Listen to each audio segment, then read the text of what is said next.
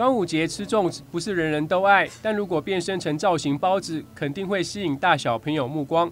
还有以在地农产品荔枝和百香果为食材，再运用国产再来米粉做成的泡芙，同样让人垂涎。来自新大富农和成功工商的学生发挥创意，在农粮署举办的二零一八非米不可创意米食竞赛中，分别拿下亚军和季军。曙光选手是李凤仪、李佳燕。台东专科学校，恭喜！台东专科学校学生用米谷粉和番薯做成金黄米蛋糕，绵密的蛋糕带有番薯香气，一口咬下还能看见金黄曙光。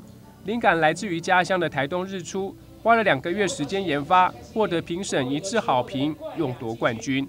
两个月，就是整个暑假都在学校。知道这个比赛的时候，就在学校开始咱们规划制作，以及食材用什么，要符合四张 EQ。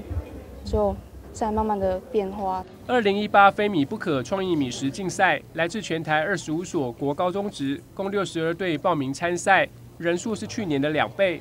得奖不只有高额奖金，还能和超商通路合作。这个我们很快就会帮他们媒介到我们的呃便利商店或者连锁超商以及加工业者，然后把它再稍稍微的修改跟包装之后，帮他们来形塑品牌，来行销到全世界。那我们希望找回我们的国民美食的这一块的记忆跟回忆。那同时，我们也致力于在开发很多的米制的多元化的加工的产品。